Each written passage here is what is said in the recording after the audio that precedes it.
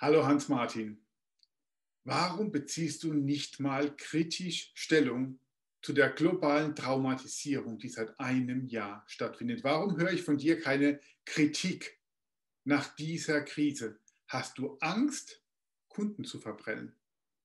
Das ist ein kleiner Auszug gewesen aus einer E-Mail, die ich gestern erhalten habe. Und darauf möchte ich eingehen, weil ich diese E-Mail sehr, sehr spannend finde und daraus meine eigenen Ansichten dir erzählen möchte. Mein Name ist Hans-Martin Beck, ich bin Coach und unterrichte die spirituelle Tradition der Inkas aus Peru. Ich lese dir mal kurz oder Auszüge aus der E-Mail vor.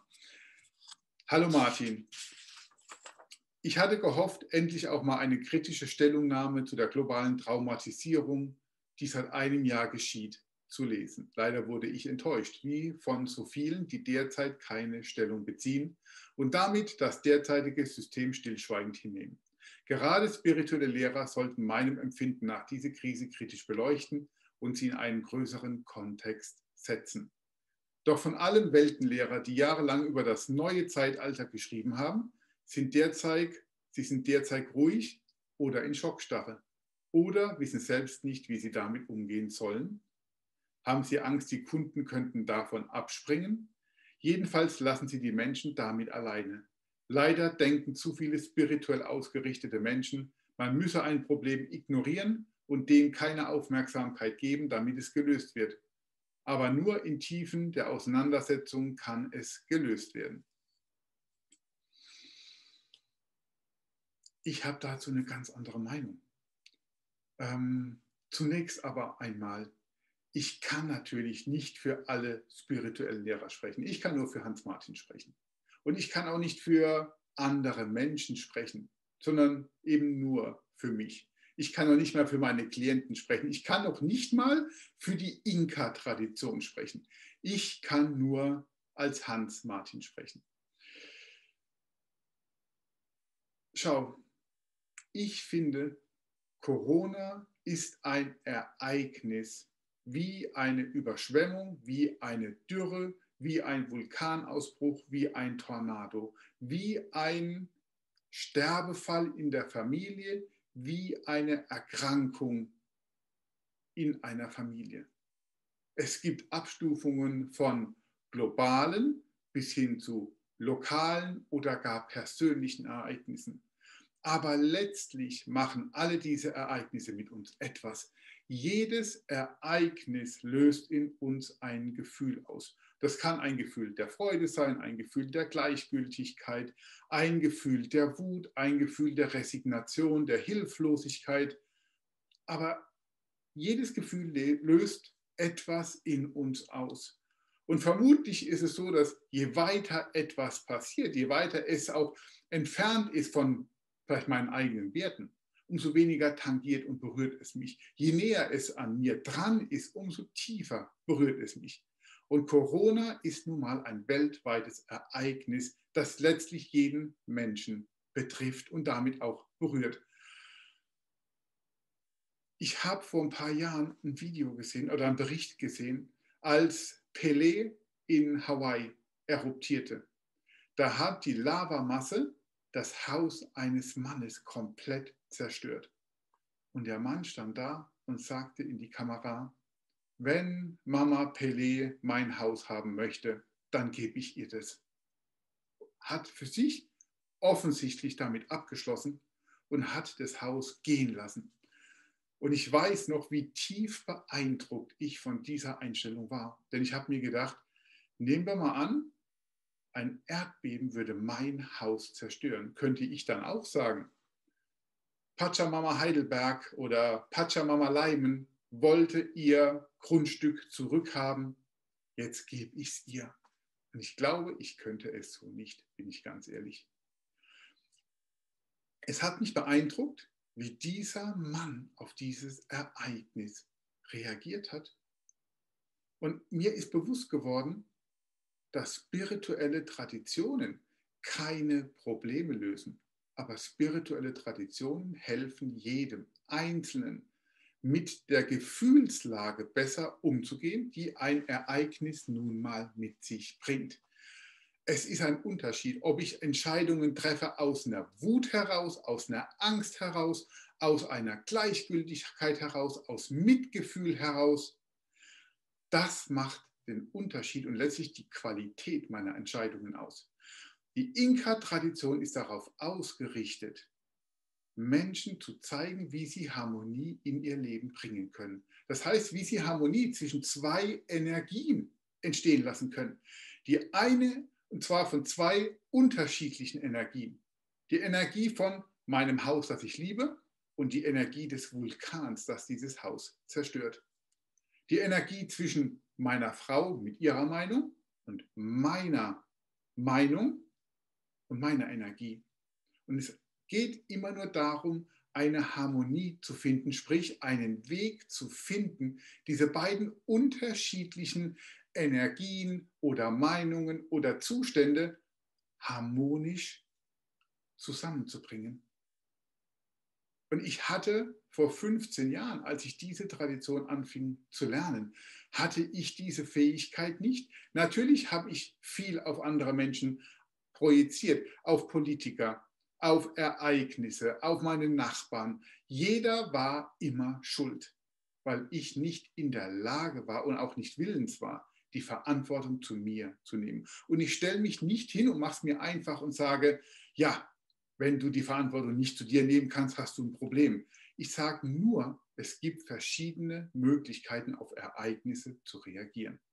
Und mein Weg ist nicht der, Stellung zu beziehen. Mein Weg ist nicht der, andere für verantwortlich zu machen. Mein Weg ist auch nicht der, gegen etwas zu sein. In dem Moment, wo ich gegen etwas bin, kann ich im besten Fall so viel Energie aufbringen, um diese andere Energie aufzuhalten. Aber ich werde niemals eine Harmonie erzeugen können. Ich habe immer verschiedene Möglichkeiten. Ich kann mir in jeder Situation anschauen, habe ich die Kraft, dagegen zu kämpfen? Habe ich die Kraft, es auszuhalten? Oder habe ich die Kraft, davon zu laufen? Aushalten, kämpfen oder davonlaufen. Und wenn ich merke, ich kann nicht etwas bekämpfen, dann muss ich mir andere Möglichkeiten überlegen. Und daher bewundere ich zum Beispiel Greta Thunberg nicht, weil ich von dem überzeugt bin, was sie tue, nicht weil ich dafür oder dagegen bin, sondern weil ich sehe, dass eine junge Frau angefangen hat, sich mit einem Thema auseinanderzusetzen. Und sie hat angefangen, indem sie vor ihrer eigenen Schule alleine demonstriert hat. Und sie hat es geschafft, eine weltweite Bewegung ins Leben zu rufen. Sie war nicht gegen etwas, sie war für etwas. Und mit diesem für etwas hat sie etwas aufgebaut. Sie hat nicht versucht, andere Menschen zu missionieren, sie hat sie nicht verteufelt. Sie ist ihren Weg gegangen. Und die, die sich ihr anschließen wollten, mit denen hat sie gearbeitet. Und alle anderen hat sie, soweit ich das sehen kann, sein lassen, wie sie sind. Und genau das ist das, worum es für mich geht. Ich bin nicht gleichgültig, was andere Menschen angeht. Aber ich habe auch nicht den Anspruch, allen Menschen zu helfen. Ich bin kein Guru, ich bin auch kein Missionar. Ich helfe allen Menschen, die zu mir kommen und Hilfe haben möchten. Ich kann mit Menschen arbeiten, die sagen, ich will, ich kann, ich werde. Ich kann nicht mit Menschen arbeiten, die nicht wissen, was sie wollen, die nicht sicher sind, die mit Konjunktiv arbeiten, mit hätte, könnte, sollte, würde ich kann mit Menschen arbeiten, die sagen, ich möchte etwas an meiner Situation ändern. Ich möchte keine Angst haben. Ich möchte überlegt bleiben. Ich möchte ruhig bleiben. Ich möchte etwas an mir ändern, meine innerste Einstellung ändern. Dann kann ich helfen. Und das ist das, womit die Inka-Tradition arbeitet. Am Ende sind wir alles Individuen. Wir sind Menschen, aber wir sind Individuen. Und wir alle finden und müssen unseren eigenen Weg finden. Mein Weg ist der Weg der Inka-Tradition. Und davon kann ich Menschen erzählen. Ich kann ihnen Anhaltspunkte geben. Ich kann ihnen Erklärungen geben. Ich kann für niemanden eine Lösung finden. Ich kann niemandem sagen, was richtig oder falsch ist. Ich kann niemandem sagen, tu das oder tu jenes. Was ich tun kann, ist, ich kann niemandem zeigen, wie er mit einfachen Übungen Ängste, Sorgen, Trauer, Wut, Verzweiflung, Resignation loslassen kann, wie er sie auflösen kann, um dann mit Hilfe einer neuen Energie etwas in sein Leben zu ziehen, was ihm hilft, vielleicht eine andere Entscheidung zu treffen. Aber seine Entscheidung, nicht meine. Und das ist es. Und darum lehne ich es rundweg ab, für alle Menschen zu sprechen, für spirituelle Lehrer zu sprechen, Statements zu geben. Für mich ist Corona genauso schlimm wie ein Vulkanausbruch, wie ein Erdbeben, wie eine Überschwemmung, wie eine Hungerkatastrophe oder wie eine Dürrekatastrophe. Genauso schlimm. Ich muss damit umgehen können. Und für mich ist es auch nicht immer leicht. Ich kann mich nicht hinstellen und kann sagen, ich bin spiritueller Lehrer, für mich ist alles leicht. Ist es nicht. Aber ich weiß, weil ich merke, dass es für mich einfacher geworden ist, seit ich diese Tradition lebe, liebe und praktiziere. Und ich kann dir auch ein einfaches Beispiel geben. Mein Steuerberater hatte mir Ende letzten Jahres ausgerechnet, dass ich mit der staatlichen Corona-Hilfe, keine Ahnung, Nummer zwei, Nummer drei, so und so viel Geld erstattet bekommen würde. Und er hatte den Antrag fertig gemacht, aber ihn noch nicht abgeschickt. Und Anfang des Jahres bekam ich dann die Nachricht, Hans-Martin, wird nichts werden.